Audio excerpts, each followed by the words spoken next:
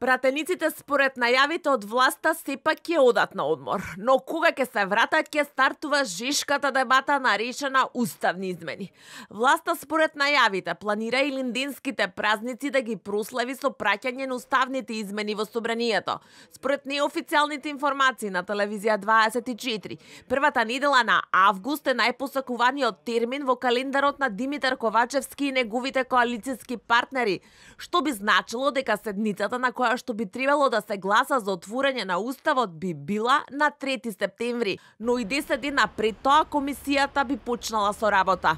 Другата опција што според извори на телевизија 24 од Линденска е намаса е следната недела, односно околу 20 јули, што би значило дека седницата најрано би била на 20 август. Според дел од функционерите, откако ќе заврши со работа Уставната комисија, и евентуалната дебата на седницата. Собранискиот спикер Тала Джафири ќе ја прекине седницата до обезбедување на потребните гласови.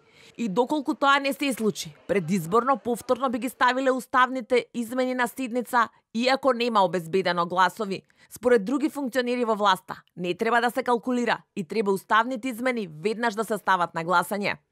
Граѓаните треба да знаат кои пратеници ќе треба да ја понесат одговорноста и во случај ако уставните измени поминат и потоа нешто тргне на лошо, но и ако тие не поминат и земјава заглави на патот кон Европската Унија.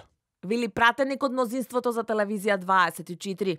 Според експертите пак, власта не треба да брза со уставот, особено по растот на негативната подршка на граѓаните, тој да се смени.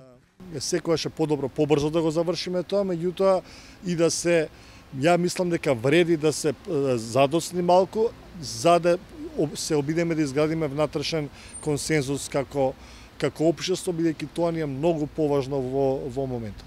И додека власта крира стратегија, опозиционерите и натаму под дипломатски притисок да гласаат за уставните измени. Утре попладне, како што веќе објави телевизија 24, е средбата со тројката министри за надворешни работи на Словачка, Австрија и Чешка – Вчера се одржала подготвителна координација со амбасадорската тројка. Според информациите од опозицијата, ВМРО ДПМН сепак се премислиле и целата пратеничка група ќе се сретне со министрите на дипломатиите на Австрија, Чешка и Словачка, иако предходно велеа дека кима само делегација.